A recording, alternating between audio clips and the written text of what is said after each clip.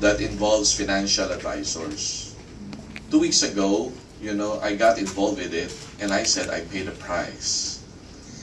It involves a, um, a uh, an advisor. Maybe I will just read it so that I won't I won't uh, make a mistake. no?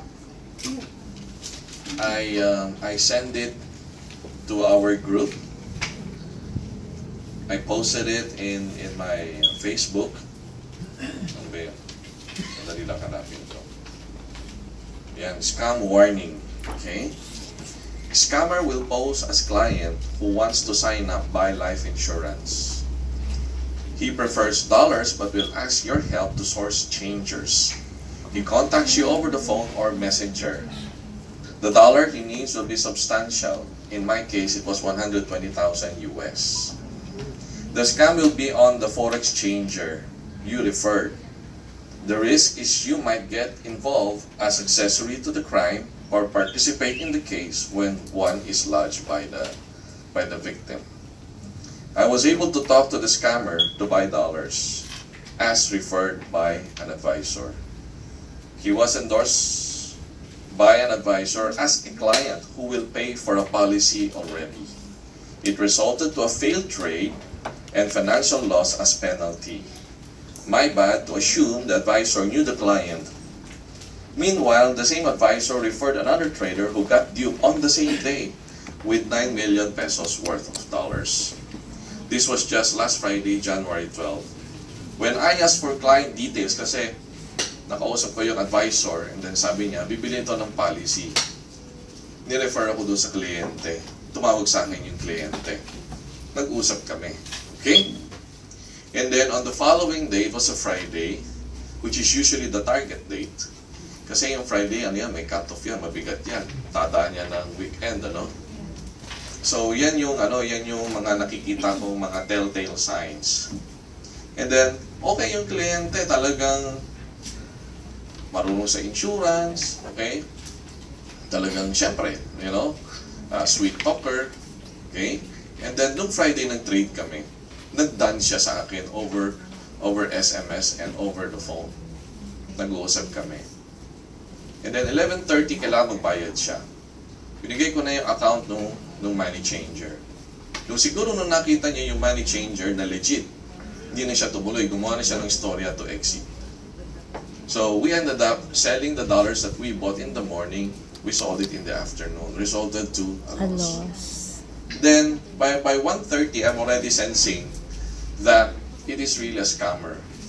Unang-una nagalit ako sa advisor. Sabi ko, your client, you know, uh, did not uh, made through his uh, trade, so it resulted to a loss. It cost me some money to have trusted you and your client. Then, as I go on, para na-realize ko, scammer ito, sinabi ko sa, sa advisor, mag-ingat ka, scammer yung kausap mo as early as about 2, 2.30. Okay? Pero hindi na sumasagot yung advisor. Okay? One BM I know had the same experience two months ago and got hold of a passport of the scammer, most likely to be fake. He was not successful when BM probed the client over the phone. BM told me telltale signs that the person is suspicious and felt to be a scammer. He will not agree to meeting, to a meeting. Let us be vigilant. Friends from our companies had experiences of the same attempts. So, nung nung, nung na-fail trade na kami, sabi sa akin nung kaibigan kong trader, sabi niya, kunin mo nga yung details ng kliyente niyan, ipapa-blacklist natin sa, sa industry. Tinawagan ko si advisor. Tinanong ko yung buong pangalan, alam niya. Ano pa yung negosyo, alam din niya. Pero beyond that, wala na siya masyadong alam. Tapos nag-invoke pa siya ng client privacy policy. Sabi ko, niloko na ako ng kliyente mo. Sa totoo lang, tapos nagsabi siya, to be honest, hindi ko pa na-meet yung client. Sabi niya, Oh no. doon nahulog, kung ano yung nahulog sa akin, hindi ko na alam. Sabi ko, ha?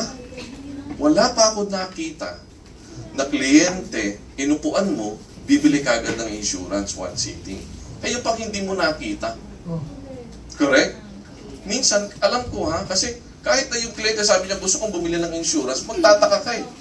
Kahit na meron siyang pera, kahit na mukha siyang okay, pero kung yung pera ay galing sa masama amla, hindi pwede siyang insurable. Kahit na mukha siyang bata, may pera siya, kung meron siyang medical condition, hindi siya pwede bumili, correct? So there are a lot of reasons why you will not meet a client and then before you'll be able to sell an insurance policy. The word that was used is client. I was in assumption that na-meet niya at the very least. Hindi pa pala. At umaasa siya na inimit niya yung client on the same day. 4 o'clock. Clearly, wala. Then, the following day, sabi ko, magbabayad tayo nito. Sinabi ko sa trader, for the first time that I've been trading with with with my friend, you know, this is the first time na nangyari ito. Sabi ko, don't worry, I will pay you of the difference. Pero nung nalaman kong 36,000, sabi ko, teka muna, parang masakit yata sa akin kung akong kumain nito lahat. Willing ako magbayad kasi parang hindi ko makalimutan yung experience. Ang tawag doon, tuition fee. Sabi ko, sa tanda ko na ito, nagbabayad pa ako ng tuition fee in the area where I am supposed to be good at. But it is not my doing. Then, sinabi ko doon sa advisor, magbabayad tayo, hati tayo. Alam mo, sabi niya, bakit tayo, bakit ako magbabayad dyan? Eh, kayo nag-uusap. Sabi niya, No. So sabi ko, hindi lalo pa nagpantingin. Sabi ko, eh yung nanalugi ng 9 million, sabi niya, hindi ako pinagbabayad eh. Ba, galit pa. Sabi ko, ito sabi ko, ang, ang liability mo sa akin, hati tayo, 18,000. Hindi ko alam kung anong liability mo doon sa 9 million. Hindi mo pa alam kung anong iniisip niya. Sabi ko, correct? Best case scenario, sabi ko, magte-testify ka for the crime. And true enough, by Sunday, the client, you know, informed the advisor to make an affidavit. Sabi ko, worst case, magdasal ka, mag-ingat ka sa pagsusulat mo. Sinabihan ko siya, baka idawit ka dyan, accessory to the crime. Matakot ka kapag hindi ka na kinontak ng kliyente. Because iba ang kukontak sa'yo. Correct? You know what I mean? Either way, you know, if it's going to be a legal case, abala ang aabutin mo. Is that worth 18,000? I don't think so. Correct? So, true enough, gano'n na, hindi ko na alam kung ano nangyari. So, mag-ingat kayo, no? Kasi ako, uh, well, yun na nga nangyari, ano? And then, when I look at, when I talk to my other clients, uh, my other friends from the industry, true enough, there are attempts to really, you know, um, dupe. And then, nung binasa ko ulit yung, yung email exchange, ay, yung text exchanges, sinasabi ng kliyente, preferred niya individual traders. Eh yung trader ko, ano yun? Uh, legit yun talagang money changer. Nung pinakita ko yung bank account niya sa video, money changer. Kaya alam niya hindi siya makakalusot. Kasi dapat yun, magbabayad muna bago namin padala yung dollars. Ano nangyari doon sa individual trader? Okay-okay yan. No? Pero pagdating doon sa final hour, final minute, mag-switch yan. Sabi niya, hindi ako makapag-transfer, bayaran lang kita ng cheque. Good naman ito eh. Dineposit yung cheque, tatanggapin yun. Pero magki-clear yun at the end of the day. One day na lang ang clearing, correct? Pero ang clearing alas 5. Ang deposit hanggang mga alas 3. Pag dineposit mo yung pera, lalabas yun as your current balance but not available because it hasn't been cleared yet. Meanwhile, transfer mo na yung, yung $120,000 to the scammer. Tapos na ang istorya mo. Correct?